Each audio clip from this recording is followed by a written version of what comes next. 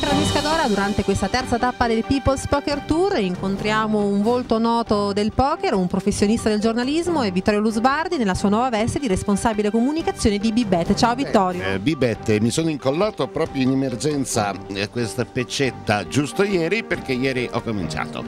Quindi proprio sul campo, subito. Esatto, ho cominciato qui a Cranisca e sono molto contento non solo per Bibette che è una simpaticissima poker room bolognese fondata sull'economia del tortellino che io adoro, ma anche perché Cranisca ho cominciato io a lavorare in questo mondo e anche il PPT è nato qui. Quindi ci sono una serie di eh, punti di inizio di nuove avventure che sono state tutte molto belle e molto fruttuose. Sì, sì, es- esattamente, una specie di circolarità. In questi anni, perché mh, qui abbiamo cominciato nel marzo, mi pare, del 2010, è passato poco tempo, in verità è passato un secolo perché ci sono profonde innovazioni e novità sia nel mondo del gioco sia nello specifico del poker. Diciamo che l'epoca eh, si iniziava, era il momento dell'entusiasmo, sembrava che non ci fossero problemi e così.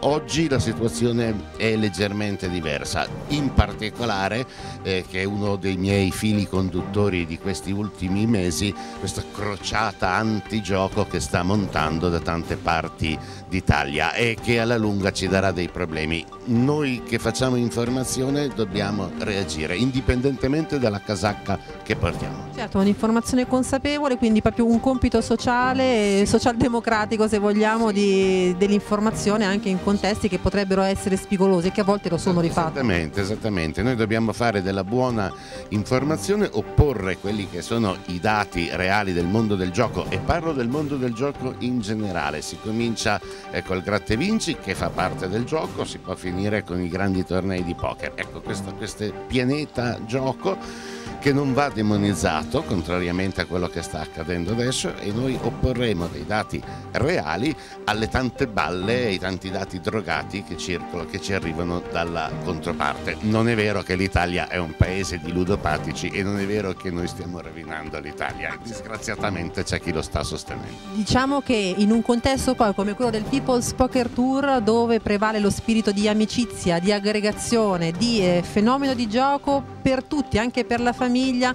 Ecco, qui eh, parlare di gioco non sano mi sembra uh, non solo ingiusto ma profondamente sbagliato. Certo, a maggior ragione, a maggior ragione perché ancora una volta il PPT si conferma grande poker spettacolo, si conferma un poker cordiale dove non ci si fa male ma dove si passano delle giornate eh, meravigliose. E poi c'è nuova, il nuovo fenomeno che noi conosciamo molto bene dei circoli, cioè di un poker che torna mh, nella, nella, nella, base proprio, come una volta si, si giocava a briscola. Al bar sotto casa. Esattamente, al bar, quindi torna ad essere proprio a, a, a formato di paese, a formato di caffè e che sarà il grande anello di congiunzione con i grandi, con i grandi eventi. E anche lì si pratica un poker sano ben lontano dalle bischio, ben lontano da quell'aria sulfura che ancora però c'è questa crociata. Circonda il poker comunque, innegabile. Che ci circonda, ci circonda. Vittorio, io ti ringrazio